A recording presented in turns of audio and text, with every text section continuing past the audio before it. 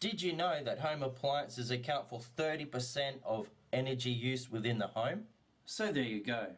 If you want to save money on your next power bill, look for higher star ratings on your next appliance. You think the law is a joke.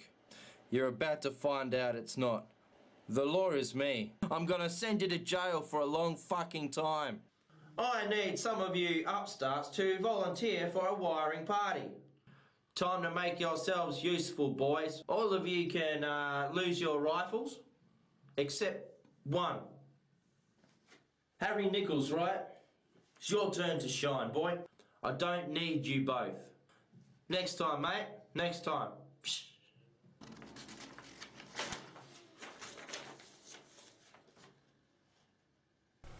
I'm Charlie. I don't own this place. The owners live downstairs. Eileen and Frank, they're a great couple. I think this is the cheapest apartment that you'll find here, especially in this awesome area. Fresh air every morning. Nothing else springs to mind. Not that I know of, checking the paperwork. Why is the rent so low? The previous tenants died. Dane? Dane Larson? Here's my business card, mate. I'd like to see you get back on there. I think there's a lot of people that'd love to see you fight again. Here's my card. It's got my number at the bottom. So when you've had a chance to go over it, give us a call, yeah? See ya.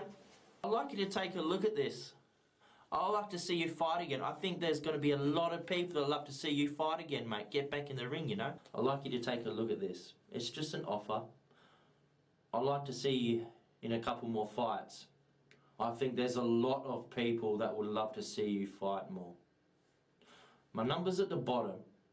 So when you've had a chance to go over it, give us a call, eh?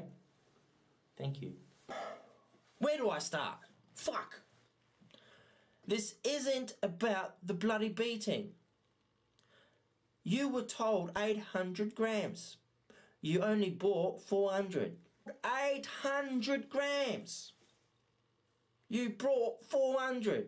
I'm not being funny. I'm a little bit disappointed, Daryl. This sort of thing is not good for business. Do you understand? I'm baffled. No respect at all. No respect at all. No respect at all. Now, now Hank, right? Hank, he may be a stupid bastard. Oh, oh, hold on a minute. But he's got a decent little network of clientele. You know, I wouldn't want him going and buying drugs from some other prick. Just not what? Daryl? You're some kind of low-grade mollusk. Not even China will deem fit for export. For export, can. You? Not even fit for export, you? Not even a mollusk. You know? Business isn't a choice, you know. It's life. From start to finish.